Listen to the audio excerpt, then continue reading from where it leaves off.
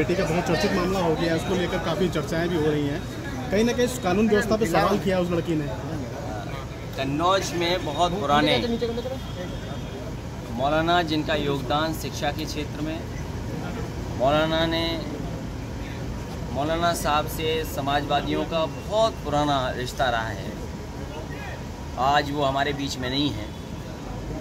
हम उनके योगदान का धन्यवाद भी देते हैं।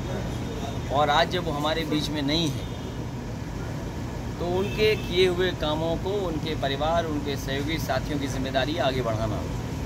मौलाना आफाक साहब का बहुत योगदान रहा है शिक्षा के क्षेत्र में। मौलाना आफाक साहब ने जहाँ अपने दीन धर्म के बारे की में जो जानकारियाँ या सच्चाइयाँ जो बताते थे लोगों को, लोगों के बीच में कैसे भाईचारा आए मौलाना आफाक साहब ने हमेशा कोशिश की लोगों के बीच में रह कर के कि एक दूसरे का सम्मान लोग कैसे करें। उसके लिए जीवन भर वो मौलाना आफाक साहब याद किए जाएँगे और वो लगातार काम करते रहे।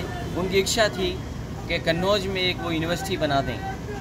वो आज हमारे बीच में नहीं है और यूनिवर्सिटी नहीं बन पाई है। लेकिन हमें उम्मीद है उनके अनुयायियों पर और उनके सहयोगी साथियों पर, उनके मानने वाले, उनके रास्ते पे चलने वाले वो कभी न कभी भविष्य में उनका जो सपना था यूनिवर्सिटी बनाने का, वो पूरा ज़रूर करेंगे। जहाँ तक प्रदेश में घटनाएँ हो रही हैं दुखद है।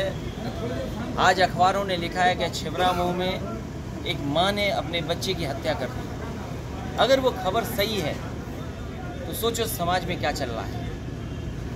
और समाज में आज भूख के कारण लोगों की जान जा रही है।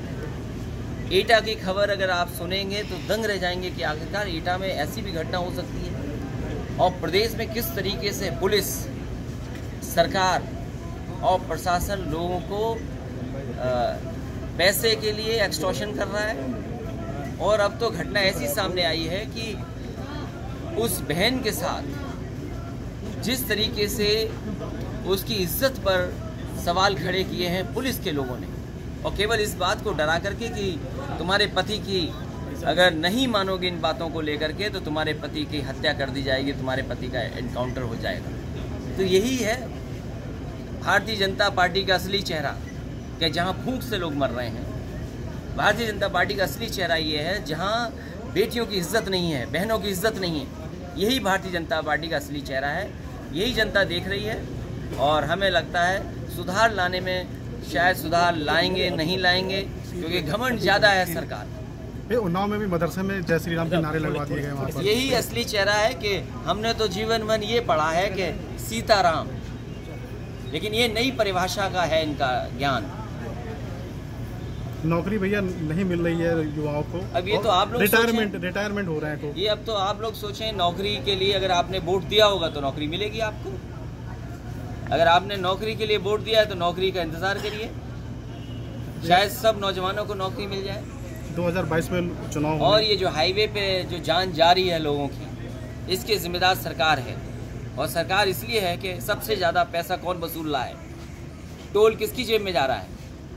अगर टोल जा रहा है तो सरकार की जेब में जा रहा है। तो सुरक्षा का इंतज़ाम करना लोगों का सफ़र आसान हो लोगों का सुरक्षित सफ़र हो उसकी ज़िम्मेदारी भी सरकार की है। सरकार को अपनी ज़िम्मेदारी निभानी चाहिए।